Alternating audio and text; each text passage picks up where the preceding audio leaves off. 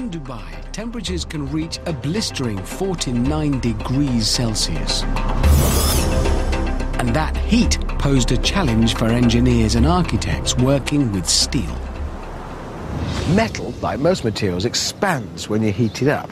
Think about it, if you've got the lid stuck on a jar, warm it up a bit and the metal lid will expand and you can free it. That's a good thing.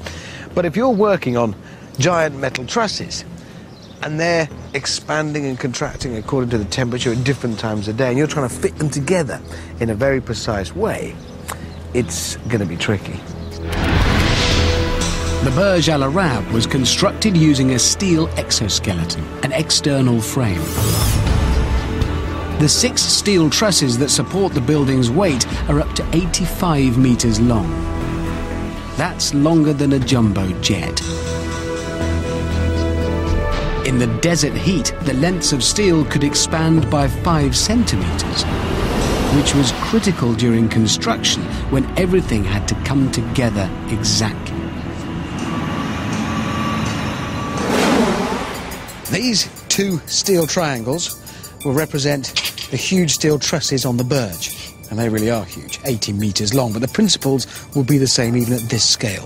So they've been machined very accurately, so they'll be fixed together using these fixings. That goes in there, that mounts in the hole. And one here.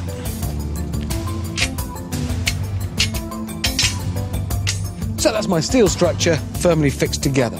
Fine but it hasn't yet had to cope with the problems of desert heat and the problems of heat expansion associated with it. Could be waiting a while here for some desert heat, but that's okay, we can bring our own. Gas axe, please. Thank you. While he's firing that up, I'm going to remove one of these fixings because I want to see the effect of that thermal expansion.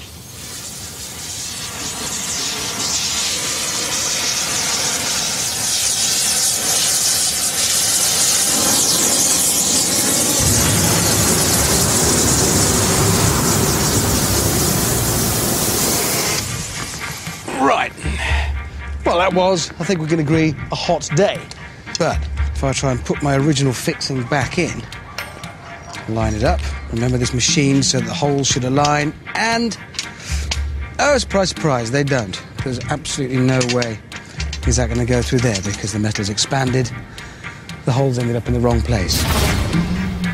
When the top metal bar undergoes thermal expansion, it becomes longer, but the bottom one stays the same. This means that the holes in each no longer align.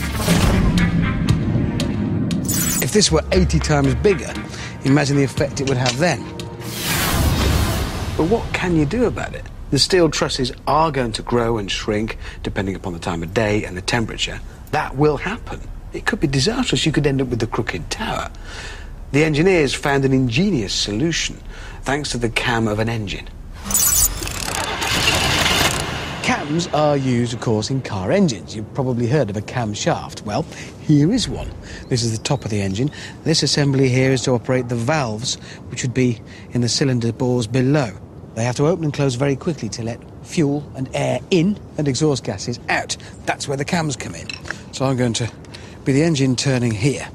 And as I rotate the camshaft, you can see the cams move eccentrically. These lobes where they bulge and stick out.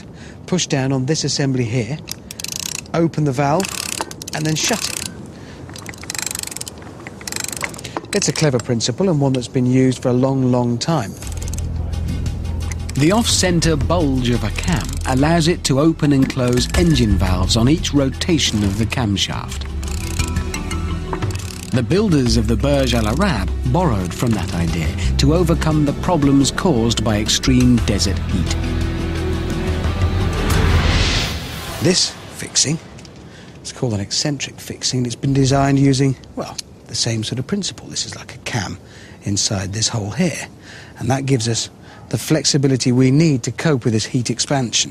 So let's put it in, line it up roughly in the big hole there. And if I drop that in, we can maneuver it around, and there it is. That lines up perfectly. That's the connection between the engine's cam and our fixings for building in the desert. The eccentric fixing allows the top hole to be moved, so that no matter how much the steel expands, it can still be aligned to the bottom hole.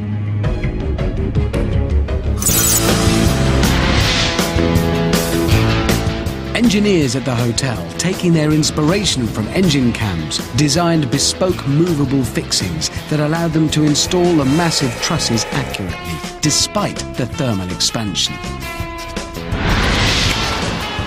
Once installed, everything was welded firmly in place. Now the building expands and contracts as a whole, keeping it in shape.